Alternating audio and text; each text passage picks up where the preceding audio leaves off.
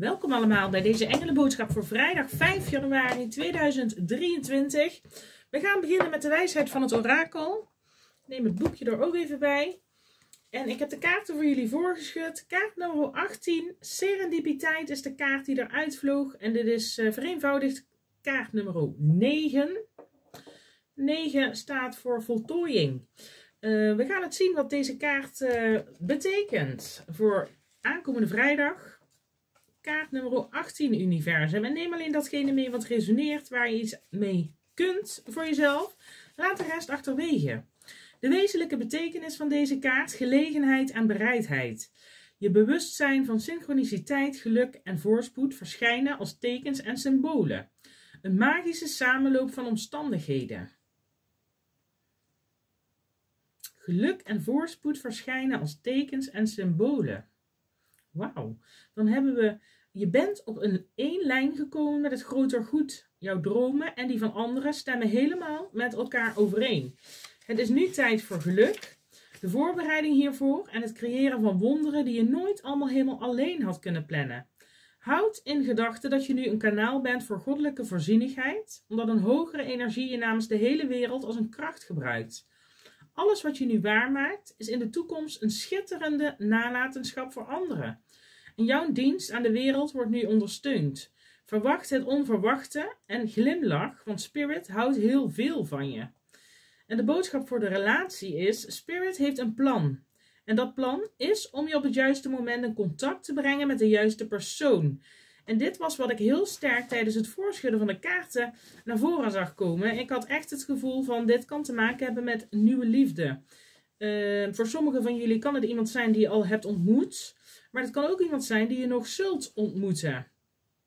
En het kan ook iemand zijn die heel belangrijk eh, zal zijn eh, voor jou in je leven, op je pad. En het hoeft niet per se iemand te zijn waar je een relatie mee krijgt. Maar dat was wel ja, een soort van boodschap die erdoor kwam met het schudden van de kaarten.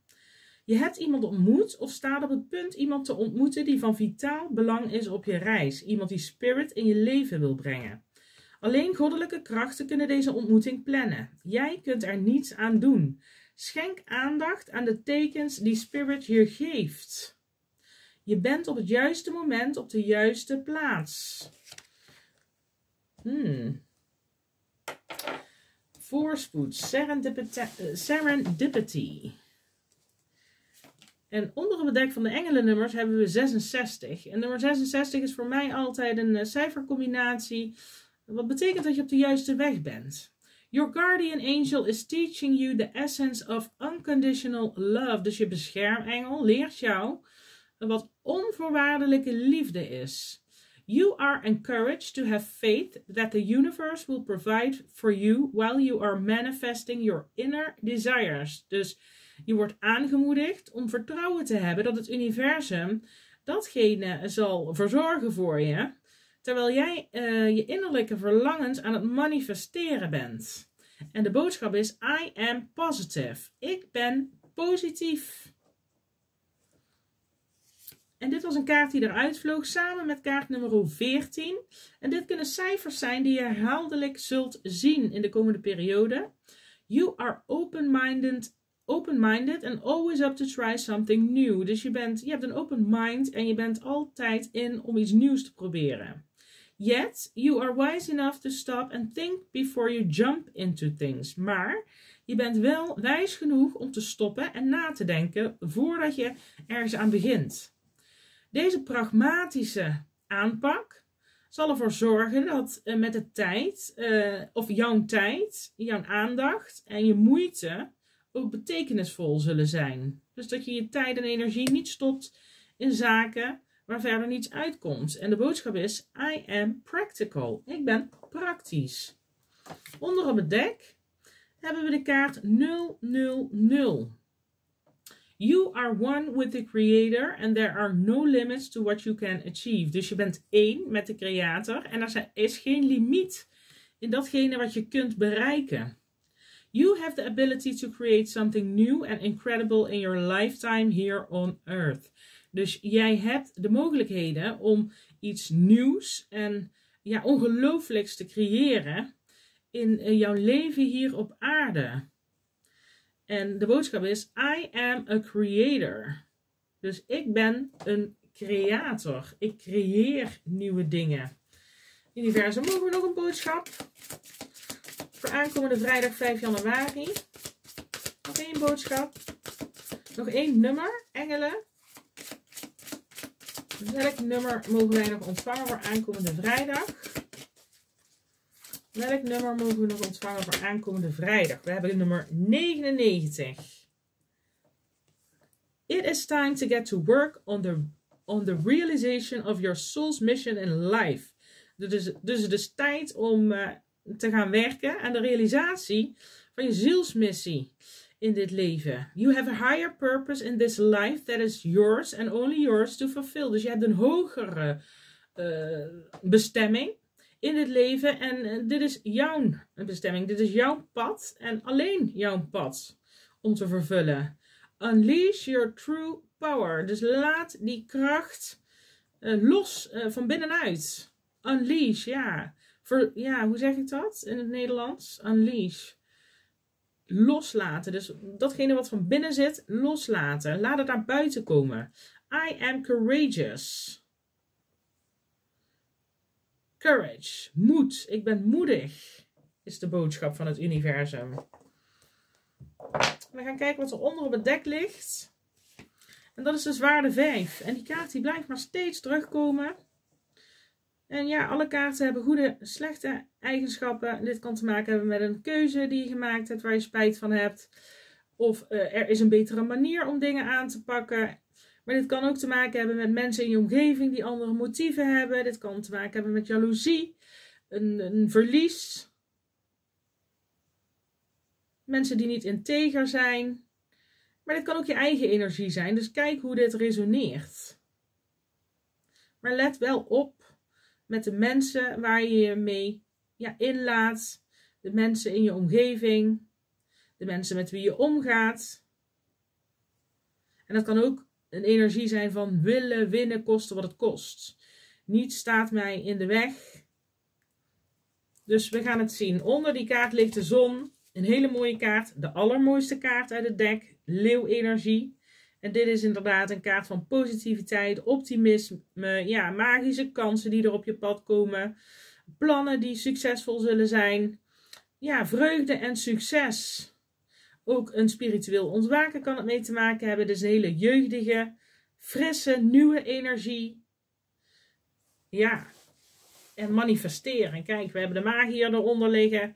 Manifesteren. We gaan het zien. Universum. Wat is de boodschap voor vrijdag 5 januari? Gematigheid. Helende energie. Maar ook balans. Er komt balans. En het kan jezelf zijn die actief hieraan werkt. Aan je eigen uh, balans. Dit kan ook uh, bepaalde ideeën van anderen met ideeën van je eigen um, samenvoegen en zoiets unieks creëren. Diversiteit kan ermee te maken hebben, zelfcontrole, geduld. Iets nieuws, iets aparts creëren. Of een compromis sluiten met iemand. De gematigheidkaart is uh, gekoppeld aan het sterrenbeeld boogschutter. Universum, wat mogen we nog meer ontvangen? Ja, dank u wel. Schildknaap van zwaarden. Deze twee kwamen ook naar voren in de reading voor de donderdag. Schildknaap van zwaarden, iemand die logisch denkt, iemand die ook wat sceptisch kan zijn, heel nieuwsgierig is, meer informatie wil, iets wil onderzoeken. En documenten goed bekijken, het kalm aandoen. Het kan te maken hebben met een keuze waar je voor staat, waar je eerst meer informatie nodig hebt alvorens een keuze te maken details. Want we hebben hier ook de kelken 5. En dit is hier wat down voelen, verdrietig zijn, focussen op het negatieve, focussen op uh, dingen die niet gelopen zijn zoals ze zijn gelopen, spijt hebben van dingen. Maar alles gebeurt met een reden en kijk, wat zijn de verborgen zegeningen die ik ergens uit kan halen. En dan, ja, onder op het dek nog steeds die zonkaart. Heel mooi. Dus we gaan het zien waar... Oh, En kijk, onder op het volgende dek ligt ook de zonkaart. Dus ik heb sowieso het gevoel voor sommigen van jullie, als je voor een keuze staat, en dit kan dus zijn in liefde, er kan een nieuwe persoon op je pad komen. Dit kan een leeuw zijn. En we hebben die uh, boogschutter-energie. En ik zag ook een koning van staven, ramleeuw boogschutter. Maar ik zag ook een koning van zwaarden, die er als eerste uitsprong. En dat is iemand die objectief is. Iemand die uh, een hoofd over hart beslissing maakt. Een hele wijze persoonlijkheid. Iemand die vertrouwt op zijn innerlijke wijsheid. Maar iemand die vooral in zijn hoofd zit. En het kunnen ook twee personen waar je mee te maken hebt zijn. Dus een luchtteken, tweelingweegschaal waterman en een vuurteken, ramleeuw boogschutter. Maar hoe dan ook, ik heb het gevoel dat er duidelijkheid gaat komen als je een keuze wil maken met de pentakels 2. Nadenken ergens over. Ja, en hier hebben we de koning van staven. En nu ligt daar de koning van kelken onder. Schorpioen, kreeft, vissen. Heel sterk vissen-energie, heel sterk leeuw-energie. Waarom ligt hier die zonkaart? Waarom ligt hier de zonkaart? Oeh. Slapeloze nachten. Nachtmerries hebben. Maar ook heel sterk spijt. Misschien jezelf iets kwalijk nemen. Of er is iemand in je omgeving die spijt heeft. Of ja, onrust, stress, hoofdpijn, s'nachts wakker liggen. Universum, waarom ligt hier de zon? De zwaarde 6. En dit is een hele mooie kaart. Dus we hebben die zwaarde 9. Hoofdpijn, het kan te maken hebben met conflicten. Ik zag de staven 5 uh, net voorbij komen. Conflicten met meerdere partijen of met één persoon. Ja, situaties waarbij je niet op één lijn ligt. Waarbij er meningen zijn die botsen. Waar er misschien uh, een soort van machtsstrijd is, manipulatie. Uh, maar met de zwaarde 6 zie je dus inderdaad naar kalme vaarwater gaan. En onder de zonkaart ja, besef wat je zult krijgen. Of in ieder geval een nieuwe start, een nieuw begin. Nieuwe kansen. Dus het kan te maken hebben met een relatie achterlaten. En een nieuwe persoon die je wellicht op je pad uh, zal komen. Maar het kan ook te maken hebben met het achterlaten van een bepaalde werksituatie. Er gaat iets achtergelaten worden. En dit heeft te maken met uh, ja, conflicten iets waar je heel erg over in je hoofd zit, stress over hebt. Het kan een innerlijk conflict zijn, omdat we al die zwaarden hebben, mentale energie. Heel veel nadenken, over analyseren. En nu inderdaad een, een soort van wakker worden, een soort van bewustzijn wat er komt met die zonkaart. Er wordt een licht ergens op geschenen, dus iets wordt duidelijk voor je. Er komt balans met die gematigheidkaart. Universum. Dit kan ook te maken hebben met hoe laat ik dingen wat je op de een of andere manier nog steeds blokkeren los. Het kan te maken hebben met je pad van healing, met die gematigheidkaart. Werken aan je gezondheid ook. De gematigheidkaart kan ook te maken hebben met je gezondheid. De zon ook. De zon is een kaart van creativiteit, maar ook een kaart van goede gezondheid. Je lekker in je vel voelen. En uh, hier actief aan werken met die gematigheidkaart weer ja, healing, genezende energie. En dat is het wat centraal staat met die zonkaart. Dankbaarheid naar het universum. En dankbaarheid uiten naar het universum kan ook onderdeel zijn van jouw pad van healing. Hoe meer dankbaarheid je uit naar het universum voor alles wat je hebt. Voor dagelijks je eten op je bord te hebben, voor een dak boven je hoofd, voor je kinderen, voor je geliefden om je heen. Um, noem maar op alle dingen. En hoe klein, hoe groot, je dankbaarheid uiten naar het universum zorgt ervoor dat je ja, op de een of andere manier ook positieve dingen aantrekt en meer zult krijgen van hetgeen waar je dankbaar over bent. En ja, bepaalde ervaringen, situaties uit het verleden waar je zelf misschien een schuldgevoel over hebt,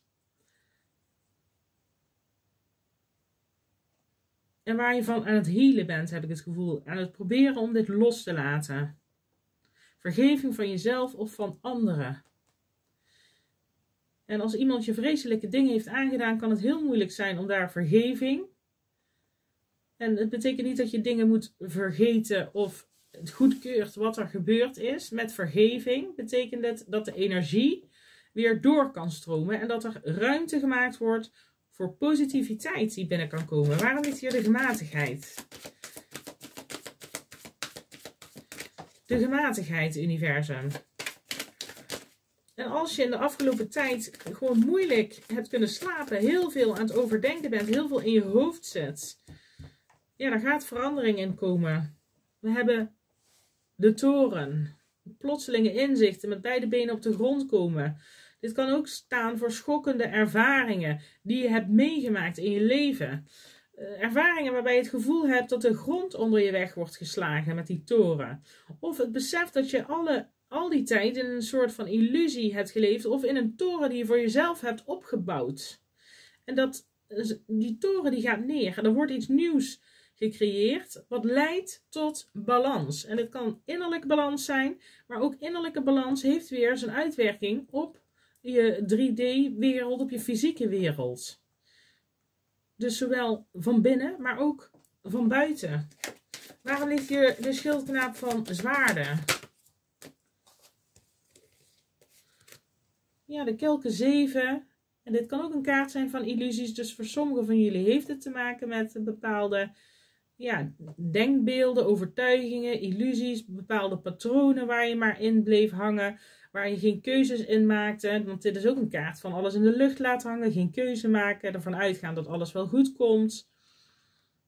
Maar geen knopen doorhakken. Keuzes, opties, mogelijkheden, emoties, een emotionele achtbaan waar je doorheen bent gegaan.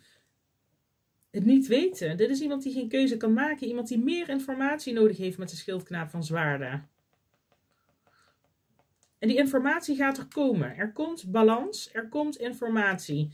Aas van zwaarden, dit is een kaart van eerst nadenken over dingen en dan keuzes maken. Knopen doorhakken, beslissingen nemen, het helder zien. Heldere communicatie. En ik zag uh, toen straks dus de koning van staven en dat is iemand die het gehele plaatje ziet. Iemand die het kristalhelder ziet, weet waar hij actie op wil ondernemen. En ik zag die koning van zwaarden. Wat kan staan voor een bepaald advies wat je krijgt of iets wat iemand zegt. Communicatie, een waarheid kan er aan het licht komen. Er kan een waarheid aan het licht komen met die aas van zwaarden, de toren, wat balans gaat brengen. Ik heb hier de pentakel 6, een kaart van geven en nemen. Dus er komt iets naar je toe. Ja, en kijk, jullie zonkaart onder op het dek. Helderheid. Er gaat uh, iets aan het licht komen. Er gaat helderheid komen. En ik heb het gevoel dat dit komt door een boodschap die je zult krijgen. Iemand wil geven in een situatie. Of iemand komt met ja, een boodschap met die pentakel 6. Met helderheid. Waarom ligt die pentakel 6 hier? Pentakel 7.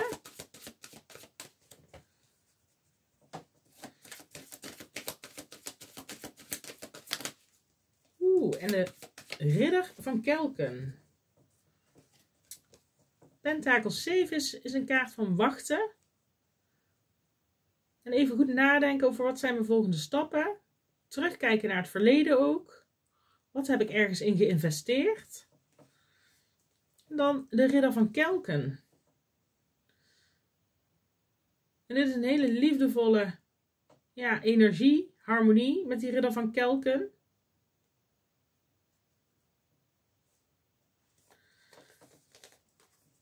En de gerechtigheid onder op het dek. Ook een kaart van balans. Gelijkwaardigheid, gerechtigheid. Ik heb ook het gevoel, heel sterk het gevoel van een bepaald karma. Wat er gaat komen. Waarom ligt hier die kelken 5? Ook die pentakel 6 kan een kaart zijn van karma. Want we hebben dus vooral evenwicht, balans.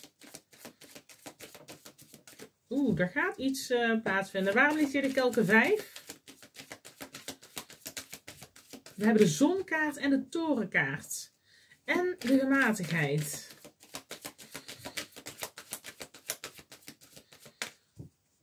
Iets gaat er plaatsvinden.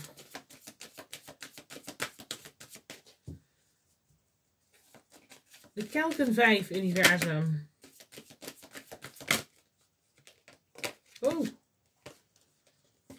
De magier. Iets nieuws creëren. En dan hebben we die aas van pentakels. Een gouden kans die je geboden wordt. We hebben de koningin van pentakels. Iemand die praktische stappen zet. Haar middelen op de juiste manier inzet. Zorgzame koningin. Ook iemand die goede keuzes maakt voor zichzelf. Iemand die de controle neemt met de magier. Een nieuwe start, kaart nummer 1. Beide zijn dit kaart nummer 1. Echt hele mooie energie. Iets nieuws creëren. Maar ze liggen wel onder de kelken 5. En met die balanskaart, ik krijg ook voor sommigen inderdaad de torenmoment. Het kan iets zijn geweest wat uh, een schok teweeg heeft gebracht. Het kan nieuws zijn uh, wat er naar je toe gekomen is, waardoor je ineens uh, ja, een soort van openbaring zult ontvangen. Of er komt iets naar je toe, um, waardoor je je bewust wordt van ook waar leg ik mijn focus op met die, uh, magier die we hier hebben. Dit is een kaart van er is magie overal om je heen. Je kunt manifesteren wat je wil. En dat hadden we hier ook met de, de engelennummers uh, liggen.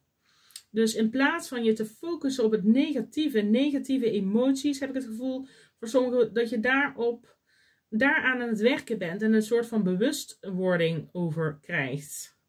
Waarom ligt die toren hier, universum?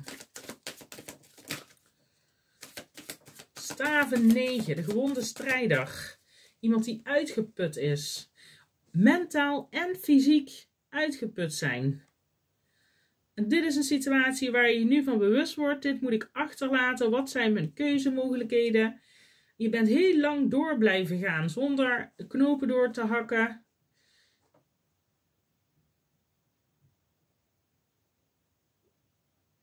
En het geven en het nemen, die balans is heel erg belangrijk hierin. En ook het je kwetsbaar durven opstellen. Je kunt iemand zijn die alsmaar door blijft gaan. Op de automatische piloot krijgt door. Waarom ligt hier de toren? Zonder stil te staan bij emoties. Waarom ligt de toren hier? De dwaas. Kaart nummer 0. Een nieuwe start, een nieuw begin. Een risico durven nemen. In het diepe durven springen. Maar dit heeft ook te maken met je vitaal voelen. Dit is iemand die zijn reis begint. Een nieuwe reis beginnen. En die reis die je hebt afgelegd, een hele lange reis, die heel veel energie gekost heeft. Dat is wat je achter gaat laten. We hebben de zwaarde 9 die achtergelaten wordt door die zwaarde 6. Dus het heeft te maken met je emoties, maar ook met je gedachten. Met het mentale. In beide situaties zie ik een soort van uitputting. Fysiek, mentaal.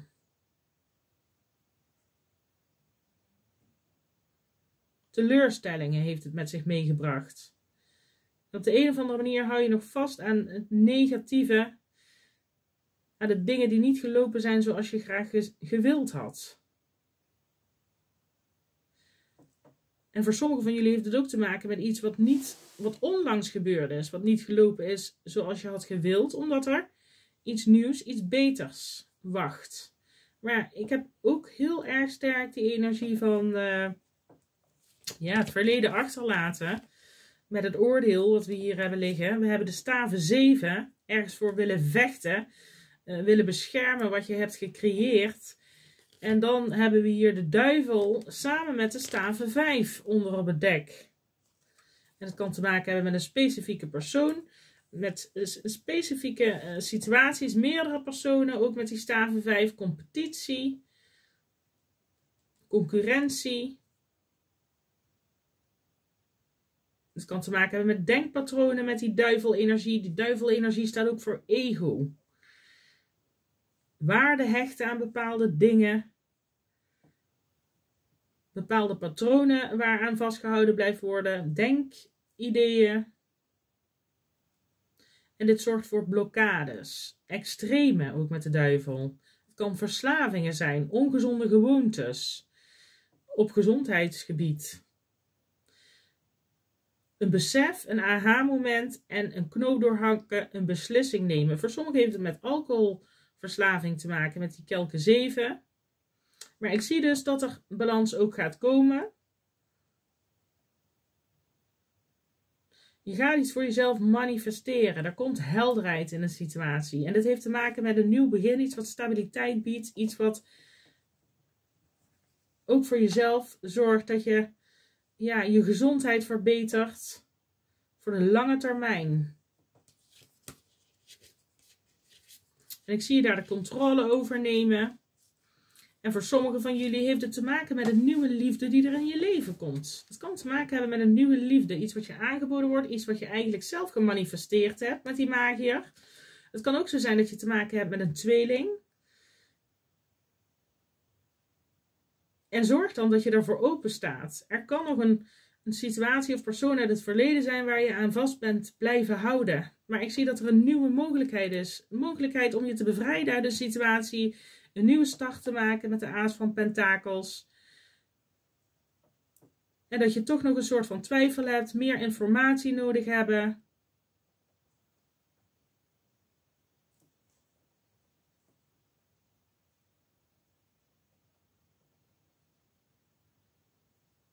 Ergens dieper in wil duiken, want je wil niet weer een teleurstelling meemaken. En het heeft te maken met balans. Ja, daar komt balans. Ja, met die zonkaart die we steeds zagen. Ik zie je dus ook actie ondernemen op een nieuwe. Op iets nieuws. Een nieuwe situatie, een nieuwe persoon. En inderdaad, eh, het brengt balans. Dus ja, dat is een hele sterke, hele sterke energie die hier doorkomt. En dat is iets plotseling, iets onverwachts, iets wat je niet ziet aankomen. Iets wat gestuurd wordt vanuit het universum. En dit kan ook iets zijn als het nieuws is over je gezondheid. Waardoor je ineens met beide benen op de grond komt te staan en, en bewust wordt van het is nu tijd. Er moet nu ergens aan gewerkt worden. Er wordt nu een ongezond patroon achtergelaten worden. Wil ik me inderdaad uh, ja, beter gaan voelen. En die aas van pentakels. Je familie, je gezin kan hierbij ook uh, belang, uh, ja, belangrijk zijn in het besef.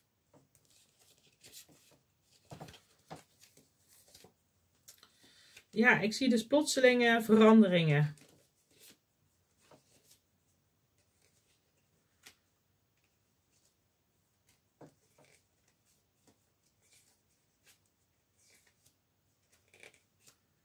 Oeh, ja. En als het met liefde te maken heeft, zie je inderdaad dat er uh, een bepaalde eh, situatie of persoon achtergelaten moet worden. En dat er iets nieuws binnenkomt. En dit kan echt uh, ja, een volgende stap zetten. Iets wat, ja, dat kan echt iemand zijn die voor hele lange tijd, hele lange periode in je leven zal zijn. Dus uh, ja, dit zijn de boodschappen die erdoor komen. En uh, laat het me weten of het resoneert. En uh, ik wens jullie een hele mooie dag toe. En tot morgen weer. Dag!